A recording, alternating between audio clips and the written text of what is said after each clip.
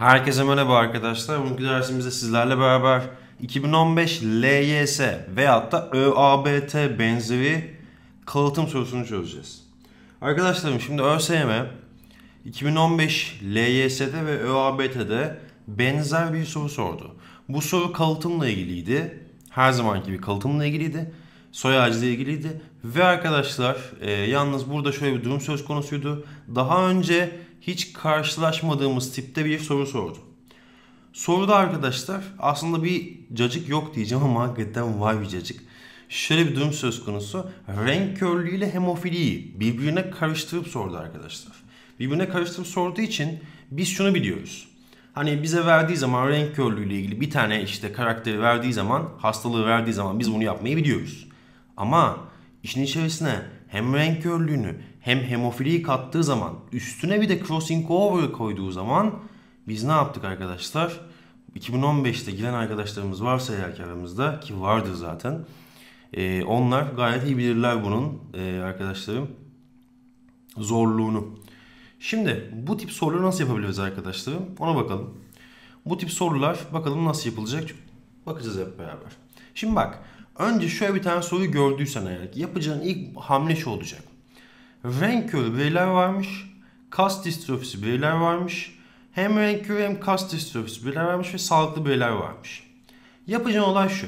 Ben renk körü bir birey alırsam eğer ki nasıl gösteriyorum onu dişi bireyden bahsediyorum. X üzeri küçük V. Yine aynı şekilde X üzeri küçük V olarak gösteriyorum. Evet arkadaşlar bu bir renk körü dişi. Ben peki bunu taşıyıcı olarak alsam nasıl alacağım? Bu şekilde alacağım değil mi? Ben bu dişiyi sağlam alacaksam eğer ki taşıyıcı olmasını istemiyorsam eğer ki nasıl alacağım? Bu şekilde alacağım değil mi?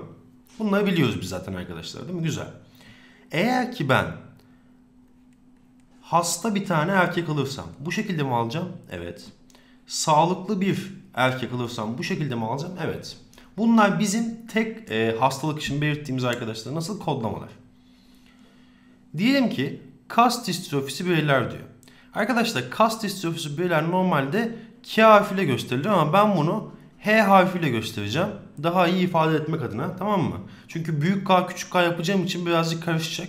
O yüzden kas distrofisini biz H olaraktan kodlayalım tamam Zaten kas distrofisi de hemofili de renk körlüğü de arkadaşlar çekinik olaraktan kalıtılıyor bildiğiniz gibi. Ben eğer ki kas distrofisi bir birey alacaksam nasıl alacağım bunu? H harfiyle ifade ediyorum dikkat edin. X üzeri küçük h, x üzeri küçük h olarak alacağım. Bu bir dişi. Hasta bir dişi. Eğer ki ben bunu böyle yazarsam ne olur? Sağlıklı ama taşıyıcı bir dişi. Ben bunu böyle yazarsam ne olur? Bu sefer de arkadaşlar normal bir dişi. Aynı şekilde biz bunu şöyle yazarsak hasta bir erkek. Biz bunu böyle yazarsak hasta, e, normal bir erkek. Şimdi bakın bu kadar şey yazdım ama çok fazla işlem kalabalığı oldu benim için. İşte ÖSYM de bunu bildiği için arkadaşlar demiş ki biz bunu tek basamakla toparlayalım ve arkadaşlar ne yapalım birleştirip soralım demişler. Bakınız ben diyelim ki şöyle bir şey söylediğimi düşünün. Şunu aldım. Bu nasıl? Renk körü bir dişi. Bu ne? Hemofili bir dişi. Yani kas distrofisi bir dişi diyelim. Bununla bunu aldım ve birleştirmek istiyorum. Nasıl birleştirebilirim arkadaşlar? Şöyle birleştirebilir miyim? X'e X'i yazdım. Güzel. Renk körlüklerini koydum. Güzel. Hemofiliyi de koydum. Veyahut da kas distrofisini koydum. Güzel. Bu ne olmuş oldu abicim bundan sonra? Hem hemofili hem renk körü e, geni taşıyan arkadaşlar bir dişi olmuş oldu. Ve özelliği gösteren bir dişi olmuş oldu. İşte bunları tek basamakta birleştiren soru tipleri de bu tiplerdir arkadaşlar. Şimdi ne yapacağız? Biz bu şekilde yazacağız. Peki erkeğe nasıl yazabiliyorum ben? Mesela hem kas distrofisi hem de renk körü olan bir erkek yazmak istiyorum. Nasıl yazacağım abicim? X üzeri küçük v, küçük h ve y yazacağım. Bu kadar. Başka bir şey yapmayacağım. Buna göre ne yapacağız arkadaşlar? Biz soy ağacını çıkartacağız. Gelin bakalım şimdi çıkartalım bu soy ağacını. Nasıl çıkartacağımıza bakalım. Şöyle yapalım. Bütün soyu da silmemiş oluruz hem. Hatta biz bir sigimizi kullanalım arkadaşlar. Sakata gelmesin ondan sonra yazdıklarımız. Bu sorularda arkadaşlar uyanık olacaksınız birazcık. Uyanık olursanız eğer soru kaçırmazsınız arkadaşlarım bilginize. Şimdiki. Gelin bakalım şimdi buna. Şimdi ilk önce yapacağım olay şu olacak. Benim buradan çıkarabileceğim, tabloda çıkarabileceğim e, olay ne? Şimdi bakın en kolay çıkarabileceğim olay ne olabilir sizce? Bakın burada içi kare şeklinde dolu ve ne yapılmış? Artı şekilde konulmuş. Buna bakıyorum tablodan neymiş bu? Renk körü ve kas distörfisi bireymiş. Ne bu erkek değil mi? Bakın bunu ben kolayca yazabilir miyim? Yazabilirim. Nasıl yazacağım ben bunu? X üzeri küçük ve küçük h y. Bitti. Bunun işi bitti artık. Bu bu şekilde. Şuna bakıyorum. Yine aynı şekilde bak. Bu da hem e, renk körü hem kas distörfisi olan bir birey diye adlandırılıyor. Bunu nasıl yazacağım peki? X üzeri küçük ve x üzeri küçük ve ve nesi var bir de kas distrofisi var. Küçük h küçük h. Yazdım bitti. Şimdi ne yapacağım peki ben? Şuna bakıyorum, buna bakıyorum. Bu adam nasılmış? Bakın bir tane çizgi koymuş. Bakıyorum hemen cetvelime. Bu çizgi renk körüymüş. O zaman şu kesin midir? Bu bayan körü. Yazdık. Ben bunun hemofili olup olmadığını biliyor muyum? Evet hemofili değil. Ama hemofili değil de kardeşim taşıyıcı mı değil mi nasıl anlayacağım ben bunu? Arkadaşlar bakın şununla şununla şunu çaprazladığım zaman şöyle bir birey meydana geliyorsa eğer ki bu bayan nasıldır arkadaşlarım? Taşıyıcıdır bakın. Şununla şununla şunu çaprazlıyorum ve böyle bir bayan meydana geliyor. Nasıl olacaktı o zaman? Taşıyıcı olacaktı arkadaşlar. Bakın ne yapıyorum ben buna? Şuna H yazalım. Buna da H yazalım. Ha bu arada şundan bahsetmekte fayda var. Ben buraya da e, büyük H yazabiliyorum. Buraya da büyük H yazabiliyorum. Ama bu sefer çaprazlama sonucunda bu gelmez. Veyahut da ben arkadaşlar bunu büyük H küçük H yazmam da küçük H büyük H yazarım. Bir şey fark etmez ha bilginiz olsun. Yani değiştirebiliyorum bunu, oynayabiliyorum arkadaşlar bununla tamam mı? Bir şey fark etmez. Şimdi ne yapıyoruz abicim? Gel bakalım şunu hemen şöyle hatta şununla şununla şunu çarpacağım. Çarptım. Ne geldi abi? Bu geldi. Bakın bu geldi mi geldi. Güzel doğru gidiyorum o zaman. Peki ne yapacağım başka? Şununla şununla şu y'yi çarprazlayacağım. Şunu çarpalım bir arkadaşlar. Biz en azından içimiz rahat etsin. Yoksa içimiz rahat etmeyecek çünkü. Şöyle çarpı diyorum. x üzeri r'ye h yazdım y yazdım. Şununla bunu çarprazlıyorum. x üzeri r, x üzeri r, küçük h, küçük h geldi.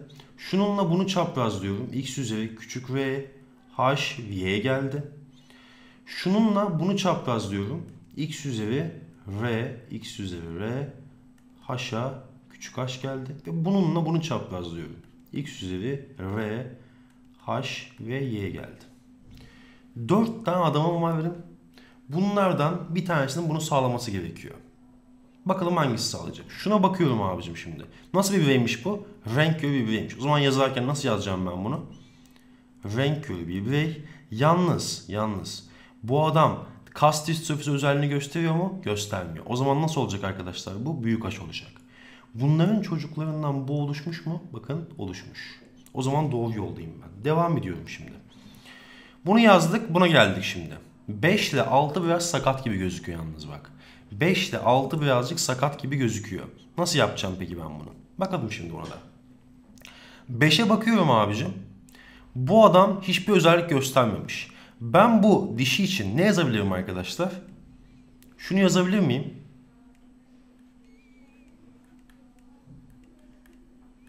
Bunu yazabilir miyim? Yazabilirim. Taşıyıcı olabilir. Taşıyıcı renk ve taşıyıcı e, kas distofisini içerebilir. Peki ben bu dişi için şunu yazabilir miyim? Üste yazayım onu da. Evet yazabilirim. Bakın özelliği göstermiyor çünkü. Peki ben bu dişi için şunu yazabilir miyim arkadaşlar? Şunu şöyle yapalım.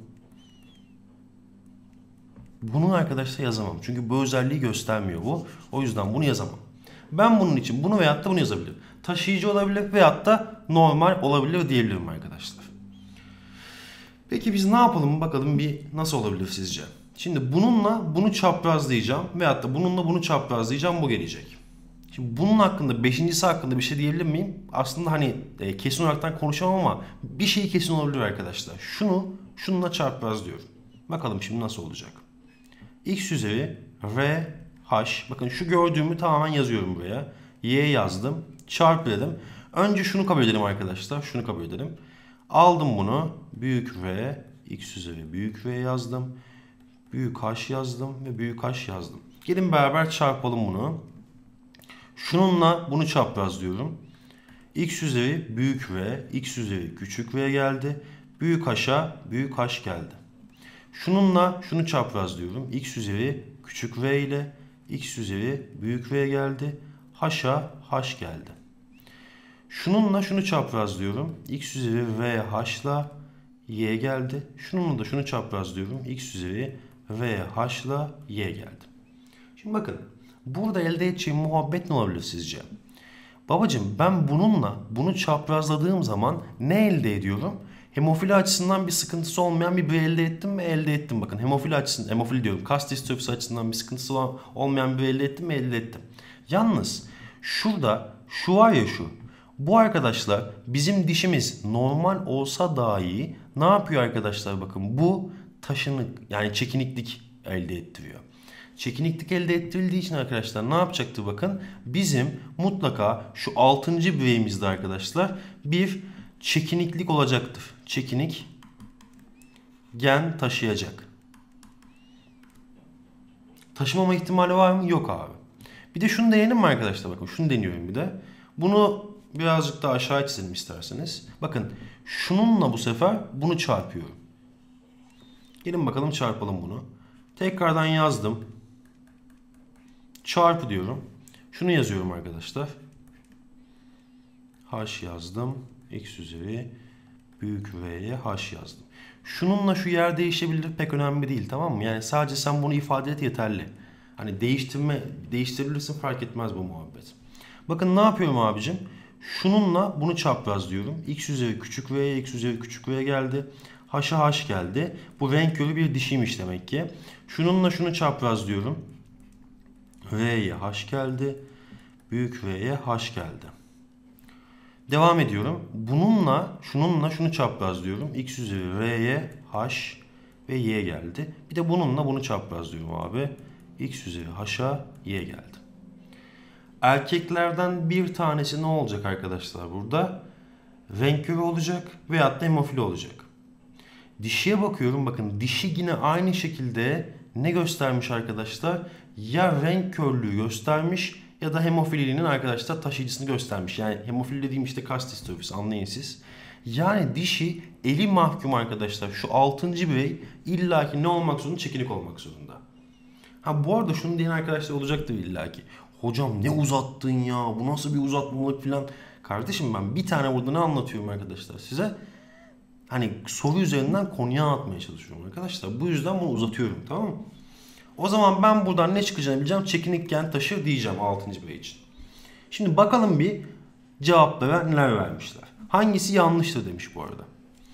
3 numaralı bireyin annesi kas distrofisi yönünden taşıyıcıdır. 3 numaralı birey ne? Bu. Annesine bakıyorum. Annesi kas distrofisi yönünden taşıyıcıdır diyor. Bakın küçük h gördünüz mü arkadaşlar? Kas distrofisi yönünden taşıyıcı mı? Evet taşıyıcı.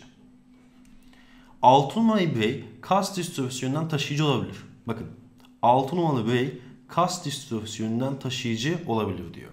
Bak bak nerede var burada? 6 numaralı birey kas distrofisi yönünden taşıyıcı olabilir diyor. Doğru mu? Doğru. 5 numaralı birey renk körlüğü yönünden taşıyıcı olabilir. 5 numaralı birey renk körlüğünden taşıyıcı olabilir mi arkadaşlar? Olabilir arkadaşlar. Renk körü taşıyıcısı olabilir tabii ki de. Bakın ya bu gelecek ya bu gelecek. O yüzden taşıyıcı olabilir. 4 numaralı birey crossing over sonucu oluşmuştur. Bak şimdi. Bu soru tiplerinde bir de crossing over sorarlar bize. Crossing over muhabbette şu arkadaşlar. Eğer ki çaprazlama sonucunda şununla şunu çaprazladım ben. Çaprazlama sonucunda 4 numarada birey mesela diyelim ki farklı bir yapıya sahip olsaydı yani bu çaprazlamadan elde edemeyeceğim bir birey olsaydı o zaman diyecektim ki ben crossing over ile oluşmuştur bu adam diyecektim. Ama ben 4 numaralı bireye bakıyorum çaprazlamadan elde ettiğim bir birey meydana geldiği için bu crossing over ile oluşmuştur diyemem arkadaşlar. Pardon. Bakın tekrarlıyorum. 4 numaralı birey eğer ki crossing over sonucu oluşmuş olsaydı ne olacaktı? Bununla bunun çaprazlamasından elde edemeyeceğim bir şey olacaktı. Ama 4 numaralı bireye bakıyorum kardeşim. Gayet de benim çaprazlamamdan elde edebileceğim bir birey arkadaşlar. Bu yüzden 4 numaralı birey için crossing over sonucu oluşmuş diyemem arkadaşlar. Cevap D. E'ye bakıyorum. 3 numaralı birey her iki karakter yönünden homozigot resesiftir diyor. Bakıyorum abicim. Her iki karakter renk körlüğü bakımından hem de kas distrofisi bakımından homozigot resesiftir arkadaşlar. Yani bu adam hasta bir adamdır. Yani bayandır işte. Anlayın siz onu. Bu arkadaşlar yine 2016 LYS'de gelme ihtimali olan bir sorudur bilginize. Çok kılçıktır arkadaşlar bakın bu çok kılçıktır çok fazla can yakmıştır. Bu yüzden ben e, kalıtımın 40. sorusunda bunu ayırmıştım bilginize. Bundan sonraki yapacağımız işlemler ise 100 soruda YGS yapacağız bilginize. 100 soruda YGS biyoloji yapacağım. Ondan sonra ise arkadaşlar bir tane daha sürprizim olacak bilginize. Ee, kanala video yüklemeye devam edeceğiz inşallah. Ee, Allah izin verirse. Bir de arkadaşlar şunu söylemekte fayda var.